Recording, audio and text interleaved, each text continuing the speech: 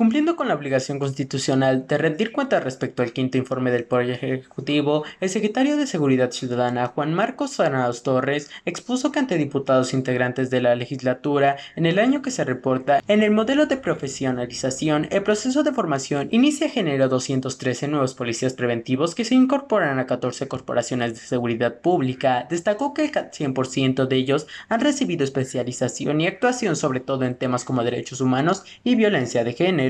Asimismo, informó que el 100% de las personas tienen evaluación que les permite utilizar la licencia oficial colectiva, es decir, no hay un solo policía que reporte un arma y que no cuente con su credencial que lo habilita por parte de la federación en ciertas habilidades que tienen que manejar. El titular de la dependencia precisó que también el 100% de los policías cuentan con desempeño vigente, es decir, tienen que hacer una evaluación de la que la ciudad el titular de la dependencia precisó que también el 100% de los policías cuenta con el desempeño vigente, es decir, tienen que hacer una evaluación de qué es lo que hacen los oficiales en la calle, que tanto producen y realizan a favor de la ciudadanía, dijo en ese mecanismo que utiliza la federación para evaluar que esté cumpliendo con su cometido, además de que el 100% cuenta con control de confianza vigente.